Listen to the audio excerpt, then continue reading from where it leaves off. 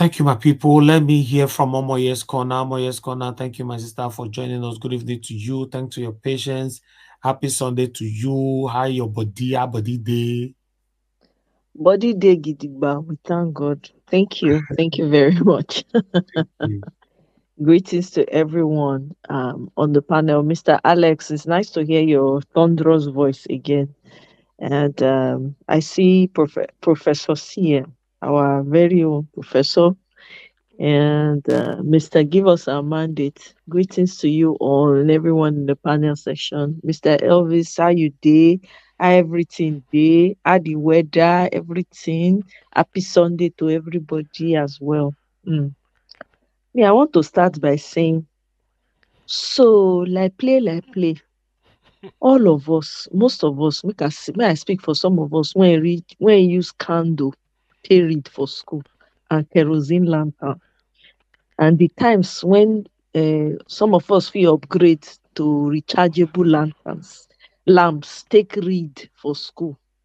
Time of midnight reading, 3 a.m. reading, manage, graduate, go through primary, secondary, graduate. Without primary, you know if you enter secondary. Without secondary, you know if you enter university.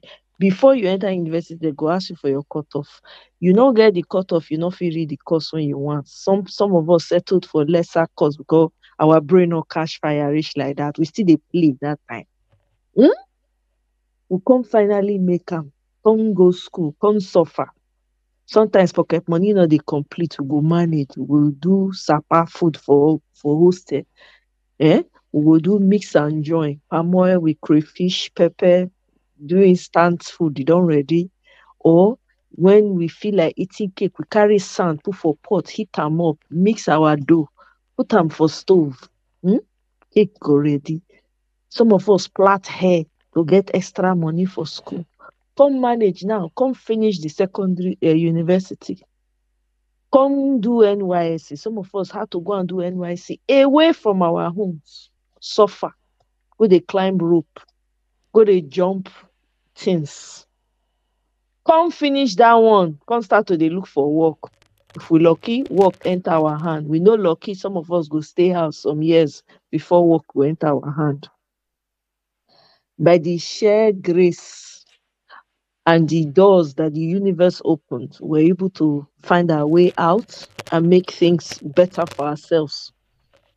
After all those triumphs, all those suffering, tears, everything, pain, inside them for school, some people no go let you rest. You buy handout from lecturer, everything. Then one man from nowhere, we don't know where he come from. We don't know his papa, we don't know his mama. Which family he come from? Who be his sister? Who be his brother? Who be his uncles? Which community? Where in community elder? We don't know anything about this man. He forge away, he no get no certificate to show. They tell you say the man now has they teach him because brilliant geniuses now has they say they teach them. He come magically, come they boast. Now he be the most recruited, intelligent. I had that one join. I know that talk am. Eh? Person ever. Here we are today. A man with no certificate, with no knowledge of who he is, sitting at in the highest office of the land. He has no clue because it's evident. Every day he has been, he's dragging Nigeria further, further into the abyss while the elders fold their hand and look. You see, say the elders don't put us for, they don't put us, they don't carry us trabaye, as they say in Nigeria. You see, they don't carry us trabaye. The most spoilt generation ever, our elders. The worst generation ever, our elders. I'm telling you. Look at what they are doing to us. How many father, you, most of you here are fathers, will see their child and take what belongs to that child, add it to your own, even as the child is thriving, take everything that that person is child, thrive, uh, uh, thriving on, re- empty the person of themselves, Which father will kill the seed before it even grows out of the soil? Which father here will do that? But your elders are doing that. Some, most of your elders. Because if we had a lot more elders coming out, I don't think it would be this, but more I have I can I can confidently say most of your elders have been put have put have embarrassed the country and the young. Nobody cares about the young people. Nobody gives a hoot. Do you know how many of them are dying at the ocean just trying to cross over just to get out of the country?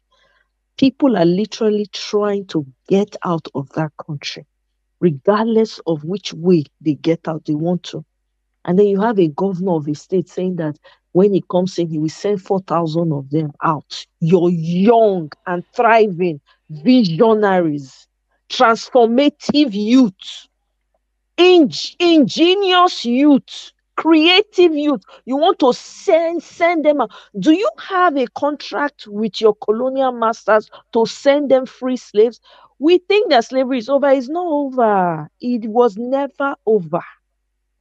What they did was put MDs in charge of their companies to be sending your young, sending your most hardworking, most creative young ones out of that country. So they make that land uncomfortable for you.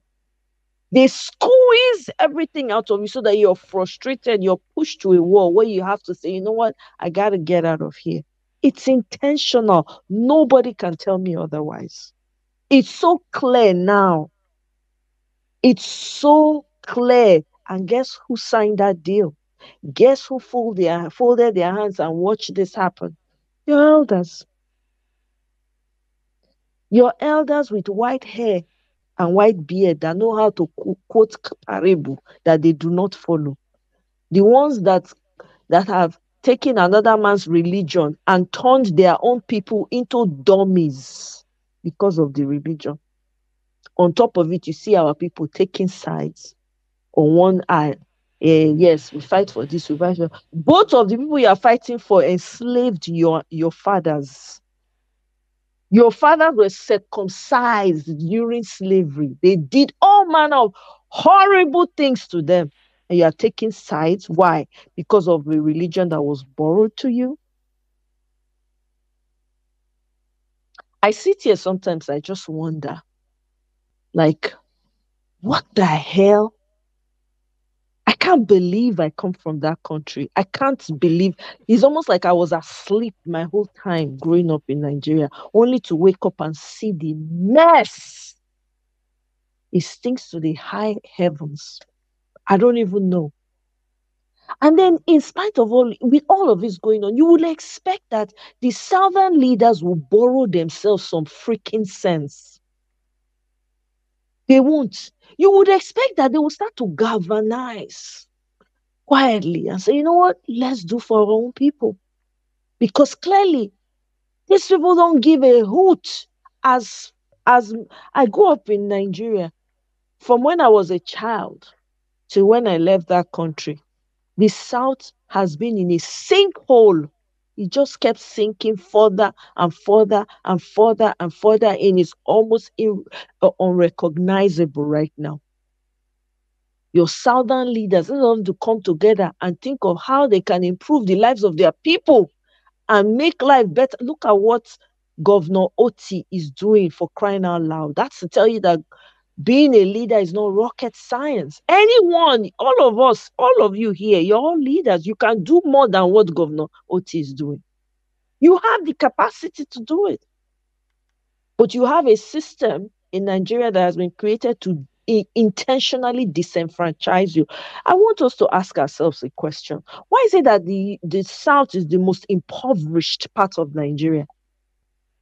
You think it's in, you don't think it's intentional? Because right from time, the South have always been the ones agitating. I don't sit down think this matter. Is it the Ogoni people? Is it the likes of Ken, Ken Saro-Wiwa, the Bayelsa, the Niger Delta fight?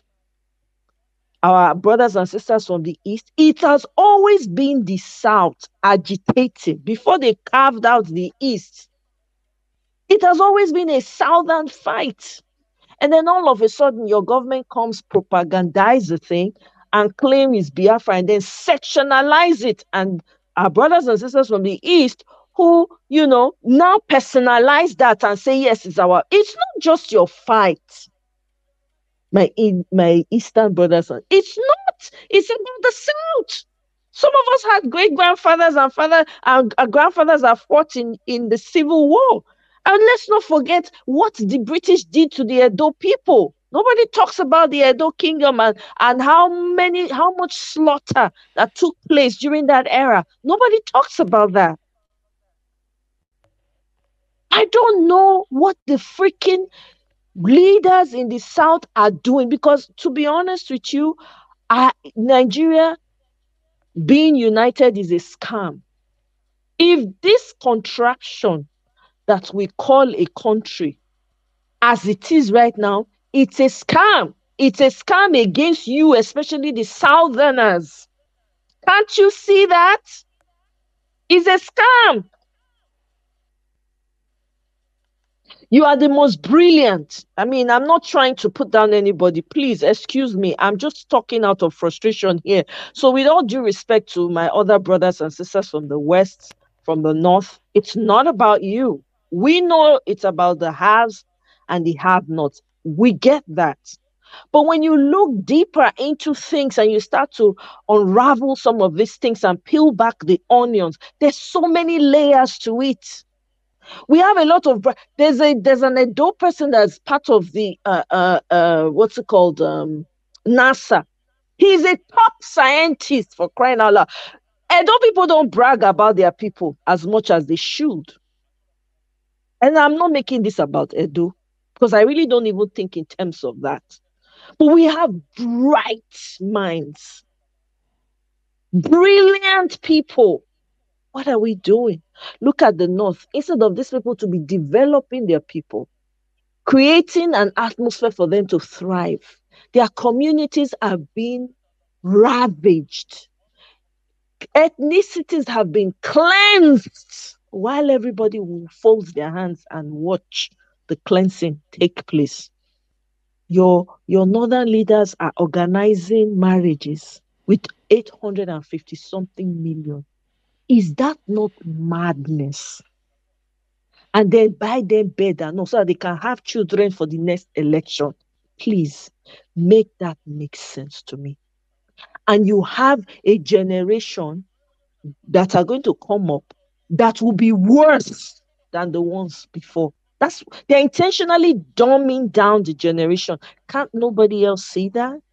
They're intentionally intentionally dumbing down the generation so that as the young people are coming up, they can't even be awoken because half of the history in Nigeria, half of us don't even know. I didn't know about the massacre in Asaba until recently. It's a shame, but I got to find out recently. Come on. What are we doing? What are we doing? Let's just call a spade a spade. If we cannot work together, can we start can the voices be louder and say, you know what, we Southerners, we're tired. We have the wealth, but we suffer the most. Why is nobody asking those tough questions? I'm not saying any other region doesn't have their own wealth. Why are we suffering the most? Every every state ought to have a thriving city, two, three, four thriving cities, airports, everything is funded. You don't need to go through someone else's city to get to yours. Why are we don't we have southerners that are as as as they are mad with everything that's going on and vocal about it? Why? What is going on? Why are we sleeping? How long are we going to sleep for? How long? The more we try, the more they try to ensure that our northern brothers and sisters do not get awakened. They remain subservient. The harder we try. Look at this war that's fighting that's going on now. People are choosing based on their religion. Shouldn't be you, your family first. If problem comes to my family, it is my family first. I will take care of myself, my family, before I think about other people. This these same religions don't even allow you in their prayer houses. I'm talking about my northern brothers and sisters. You go and pray in the mosque, they put you behind. It's an insult for you to, to, to come in front of them and pray. But yet you're choosing a side. Your your dark-skinned people like you are, are being are being slaughtered every day, everywhere, hated everywhere. But yet you are choosing a borrowed religion over your own brothers and sisters. Religion has done a number on us.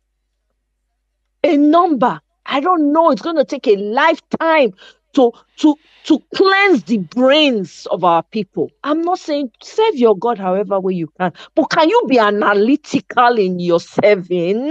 Can you ask questions? Can you criticize? Even your God will appreciate you for criticizing. Don't you know that? When do you think He created you for crying out loud? We are hearing somebody who has a particular religion of his forefathers that he suffer. The man suffering, they practice in religion, they pray to elders. They carry and go custody. Ensure, say before the man come out, he accept full Fulani dominance for Ilorin. And we are quiet. We are we are least, we are just watching everything. you guys don't think this is an agenda that's going to go around? I think it is. It's spreading. Did you guys see the video of Muslims playing on praying on an entire street? Nobody feel walk past, nobody feel drive past. In Nigeria, people are claiming Fulani dominance. In and we say it's one Nigeria for real, for real. How about take your religion to your bedroom? I grew up with Northerners, and I'm not saying all Northerners are like this. Please don't misunderstand me. I had Hausa friends coming growing up. Hausa people that I knew then, very gentle, mind their own business, content people, very content. They have a depth of understanding about how life works. The ones that we see now, I don't know. And it wasn't just Hausa, they have a lot of tribes in the north.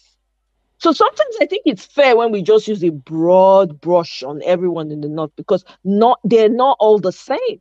They all have tribes, just like we have tribes in the south, but they've been cleansed systematically, and we are watching in broad daylight. The Fulanis, they've gotten to the west, they're taking over western states. People don't know they are taking over quietly. They are they are they are instilling their dominance if we don't wake up, we might not have a country. You might not have a grandfather's home to go to, my people. You might not. I'm sorry to break it to you. You might not. We're getting real close to it. Everyone is watching while we unravel, and you are busy choosing sides with the same people who oppressed your ancestors for generations